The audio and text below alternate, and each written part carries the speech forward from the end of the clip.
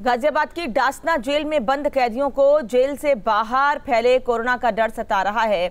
आपको बता दें कि ये जानकर हैरानी होगी कि गाजियाबाद के डासना जेल में बंद चार ऐसे कैदी हैं जिन्हें अंतरिम जमानत मिल सकती है, लेकिन वे जेल से बाहर नहीं जाना चाहते, जिसकी वजह वो बताते हैं कि बाहर फैले कोरोना को।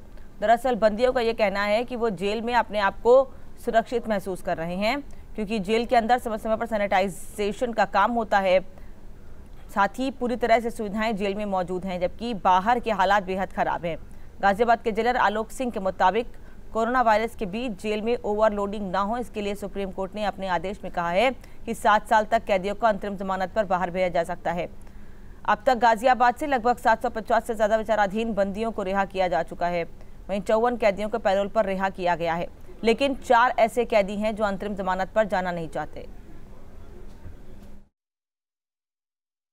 वर्तमान परिस्थिति को देखते हुए मैंने ये पाया कि बाहर जाना ज़्यादा खतरनाक है। मुझे यहाँ रहने यहाँ पे रहना ज़्यादा सेफ़ है। जी। और किसी भी तरह की समस्या यहाँ नहीं ऐसी होती। प्रॉपर सैनिटाइजेशन हो रहा है time to time medicine properly available है। Twenty four hours O P available है डॉक्टर्स अवेलेबल है। इस तरह की ऐसी समस्या मुझे यहाँ महसूस नहीं है कि मुझे घर जाने की इच्छा है।